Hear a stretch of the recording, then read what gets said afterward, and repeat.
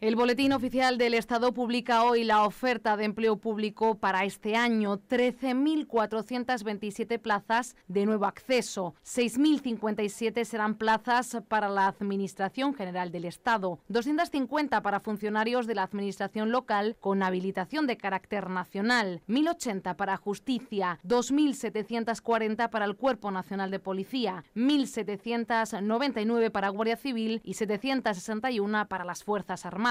En cuanto a la promoción interna, dentro de las 5.694 plazas, 3.632 son para la Administración General del Estado, 200 para funcionarios locales, 374 para la Administración de Justicia, 250 para el Cuerpo Nacional de Policía, 330 para la Guardia Civil y 908 para las Fuerzas Armadas. El Gobierno mantiene una tasa de reposición de vacantes del 100% y como novedad este año la tasa de reposición de vacantes será también del 100% en la asistencia directa a usuarios de servicios sociales, prestaciones y políticas activa en materia de empleo y seguridad ferroviaria. En el resto de sectores la tasa será del 50%.